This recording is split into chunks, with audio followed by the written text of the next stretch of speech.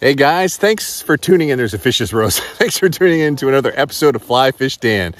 So today we're going to talk a little bit of still water tactics, specifically using leeches. I had a subscriber ask me, you know, how do you fish a leech in a lake?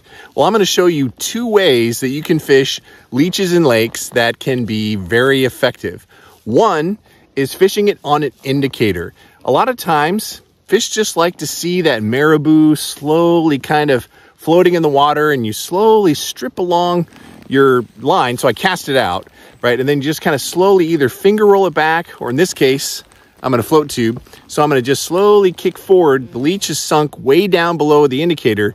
Sometimes the takes are pretty soft, so the indicator will start to bounce, set the hook, and you got a fish on, and mine just kind of moved. Oh, here we go. Or you can do what Kobe is doing, and you have the leech on a floating line and a regular nine foot leader, and you just cast it at the bank and stripping it back.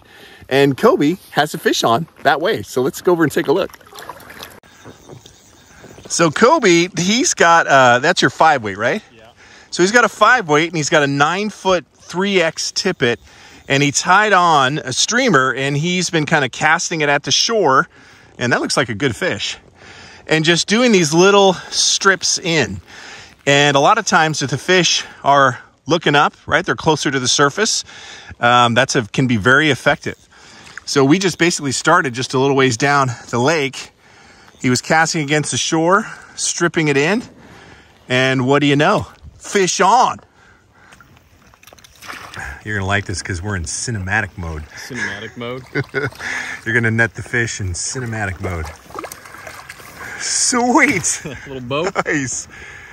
So there you go. So you can see right there, there it is in the side of his mouth, but just shows how effective that can be. Nice job, Kobe. Woo. All right, everybody, I hope that helps you the next time you're fishing leeches in still water. You do those two things and you will catch fish. All right, everybody, until the next time, fish on. I'm soaked.